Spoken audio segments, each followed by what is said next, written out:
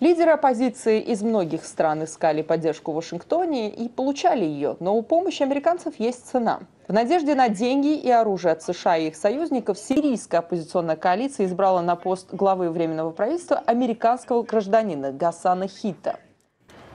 Мы должны взять ситуацию в свои руки. Мы обязаны действовать. Гасан Хита – сириец по происхождению. До недавнего времени жил и работал в Техасе, руководил IT-компанией. Может, Вашингтон и дал ему добро на формирование нового правительства в Сирии, но даже сирийцы, выступающие против Башара Асада, говорят, что вместо того, чтобы объединить страну, Гасан Хита сеет еще больше разногласий.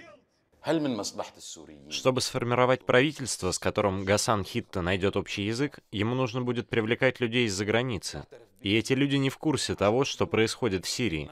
До выборов я даже не слышал его имени. Выборы премьер-министра и формирование правительства казались чем-то нереальным. Для США иметь правительство, которое в долгу у Вашингтона, может быть весьма выгодным, как в случае с нынешним ливийским руководством.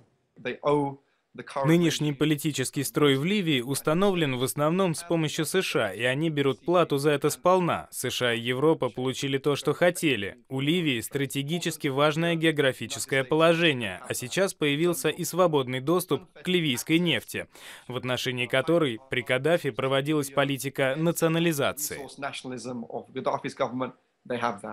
В течение многих лет США поддерживали оппозицию в другой богатой нефтью стране, Венесуэле, в надежде, что она придет на смену Уго Чавесу. Энрике Каприлес, похоже, идеальный кандидат для Вашингтона.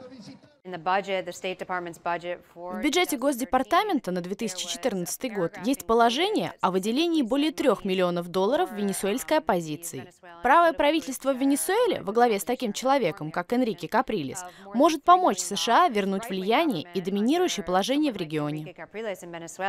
Вашингтон нередко приглашает в гости видных лидеров оппозиции. Из Кубы ли или Китая лейтмотивом встреч звучат слова о соблюдении прав человека. Я изучаю Конституцию США и Декларацию независимости, чтобы сравнить их с законами Китая. Это поможет мне в будущем усовершенствовать китайское законодательство. Но в отношениях Вашингтона с оппозиционными движениями в разных странах отмечают и другой мотив. Изучив тысячи сообщений американской дипломатической корреспонденции, могу сказать следующее. США пытаются наладить контакты с оппозицией, повлиять на нее, отчасти для того, чтобы нарушить ее целостность, и отчасти, чтобы не остаться неудел в случае смены политического режима. При всем этом не всякая оппозиция, подвергающаяся репрессии, может рассчитывать на помощь Вашингтона. Например, США не бросаются освобождать представителей оппозиции в Бахрейне, осужденных на пожизненное заключение за участие в протестах против властей. В Персидском заливе у берегов Бахрейна располагается пятый флот США. Так что Вашингтон достаточно избирателен в том, чью оппозицию поддерживать. Из Вашингтона я Гайна Чичакян.